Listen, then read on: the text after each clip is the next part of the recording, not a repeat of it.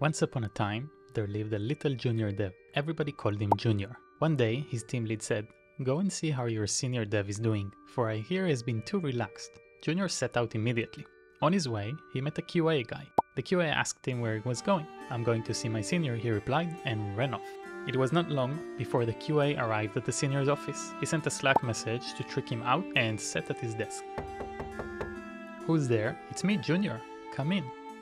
Senior, what a strange Git UI you run. To easily switch branches, my dear.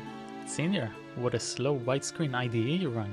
All the better to see your code, Junior. Senior, what a bloated PG admin for reading one user ID you've got there.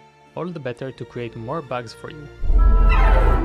Junior pulled out a Nerf gun and shot him in the face. The end. If it wasn't clear, users of GUIs don't do very well. Here's me trying to query my project's database. This is a local SQLite file on the disk, and to run one line I need to launch the CLI, type the query, remember the field names, remember to use a semicolon, and at the end I just get a list that's really hard to understand. No column names, any indicator whatsoever. And that's the good case, that means I got the command right. Here's me fighting yet again with a missed semicolon at the end of a line. So the question is, can we do better? Of course we can. Have you heard of Tim Pope by now? Of course you have. Well, in case you haven't, Tim Pope is the father of Vim plugins. Yet another famous one he made is called Dadbod. In case you aren't familiar with his Dadbod tweet, there it is, one of the top 10 of all times for sure. Anyway, Dadbod, when shortened turns to a DB, is a DB Explorer. It works with so many options like JQ, MongoDB, MySQL, SQLite, Postgres, even Redis. I'm going to quickly add it to Lazy so it's installed within NeoVim and let's see how it works. By the way, if you aren't familiar with Lazy, I'll leave a link to the video up here. So Dadbod's ready to go within Lazy. The next thing I want to do is type db and then I type the path to where the database is. In my case, it's just fat.db, a file on the disk, and then my query. In this case, select everything from the workout table. And there it is, a nice list with column names, line numbers, and everything I want to have right within NeoVim. By the way, I did not have to use the annoying semicolon at the end of the command, it works just as well without it.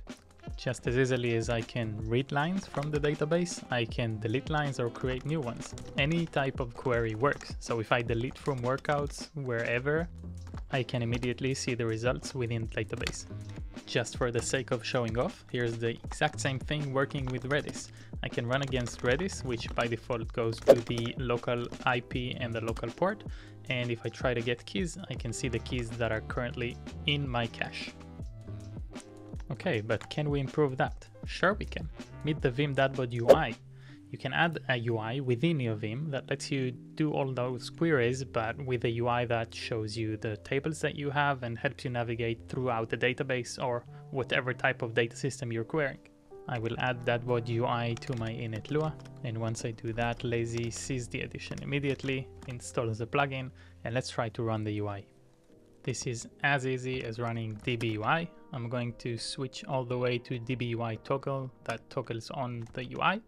And there it is. I can add a connection. In my case, since it's on disk, I'm going to run SQLite colon and fatdb. And once I do that, there's a new connection. I can name it. I'll just leave it the same. And I open the new connection where you can see my entire set of tables. I can look at them, open them up, read them, and every time I go to a list or any type of other query, the query is being built for me. And once I save it, I can see the result underneath. Every time you run a query, it's being saved in the saved queries above. And every time you have a result like this one, it's being saved in the saved queries below. As someone who keeps running the same query over and over because I forgot one instance or one ID, I can tell you that this is going to be so, so powerful for me. Do you remember we looked at Redis connection as well before? Let's do that but add it to the UI. So there's an option in DBUI that's called add connection. Once I do that, I can add different databases. In my case, Redis slash slash slash is reading the local Redis with the default port. And when I do that, I can start running queries against my local Redis. If the connection list isn't refreshing, try running question mark. That'll pop the help menu and every possible shortcut that comes with the UI. So in our case, we want to redraw. You can see that capital R would do that for us. Let's run capital R and see what happens. And so the plugin refreshes everything and it also tells us that it's refreshing all the databases. And once I click that, it says that it's connecting to the DB Redis. So we've got Dadbod running, we've got the UI on top of that, which makes everything nice. But you can see that TreeSitter is not really happy about what we're doing. First of all, it's throwing errors, and beyond that, it's not showing me any syntax highlighting. Maybe we can overcome that and come up with something even more powerful. So last improvement for the day, before jumping to TreeSitter, we want to add auto completion. I want to be able to see the fields, maybe even see what type of columns I have and use them just as I'm using any LSP for any other language that I'm typing. So let's add Vim Dadbod auto completion from the same developer to lazy so it can be loaded into NeoVim. And yes, by the way, you can see all my configuration files within my .files repo on GitHub. Okay, the plugin's installed. Let's see it in action. Let's fire up the DBUI by running the toggle command. And now I want to start running a query, it doesn't matter against which database. Now catch that, not only the LSP offers me different commands to use, if I go to user dot, it offers me the different columns that I can use inside my query. That's kind of amazing, I think.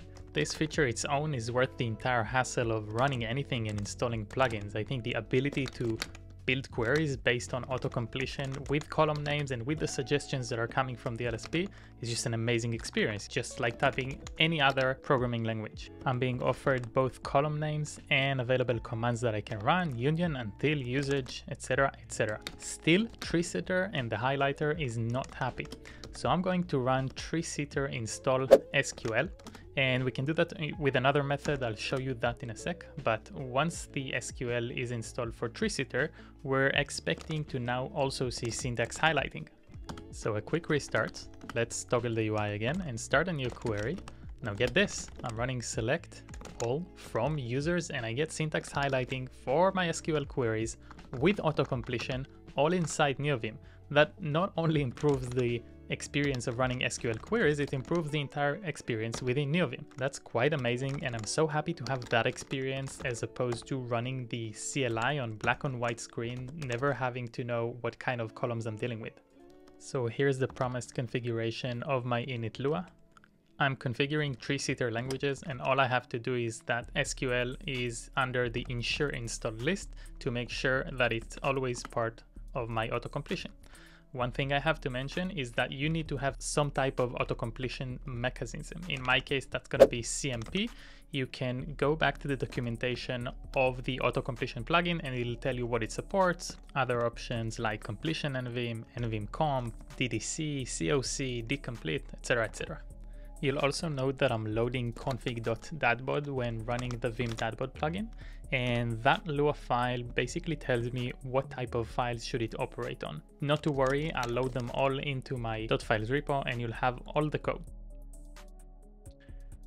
So just as I spoke about work trees and said how the mental work and the mental effort that you need to put into something is the value in something like that is the exact same thing that I think about Dadbod. So it's that and efficiency and productivity because when you can run a syntax highlighted query and get the results and or methods or types of columns or the columns themselves it makes you more productive. And not only you're productive you're enjoying your work which i think in the long run kind of makes you a better developer. Putting that aside the fact that you can query the database right from within neovim and keep a list of connections and a list of saved queries and results and everything right there ready for you to go where you write your code is what take that mental effort kind of away. You don't need to invest the energy and the mental energy into working your CLI or kind of fighting with different syntaxes or remembering the semicolons, stuff like that. When you bring things closer to your IDE, to your normal environment, especially when you're enjoying working with them because they're cool, they're fun, um, they're colored nice, it makes you a better developer.